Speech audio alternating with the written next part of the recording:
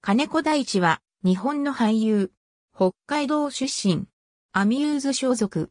2014年10月13日、アミューズが主催するアミューズオーディションフェス2014にて俳優、モデル部門を受賞しデビューする。2015年3月3日、テレビドラマ、重ねにて、出、枝健二役でテレビドラマ初出演。同年7月8日、CM、日本大学にて CM 初出演。2016年5月7日、映画6464前編にて少年役で映画初出演。2019年1月14日、配信ドラマタスクとリンコにて問題、有役で配信ドラマ初主演。同年4月20日、テレビドラマ、不女子、うっかり芸に告る。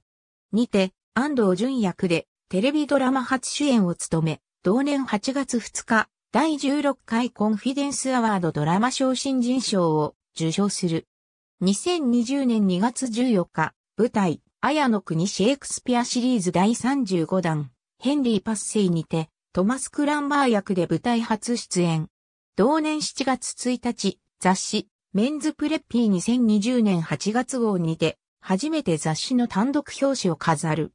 2021年6月4日、映画、猿学長で会いましょうにて、小山田修二役で映画初主演を務める。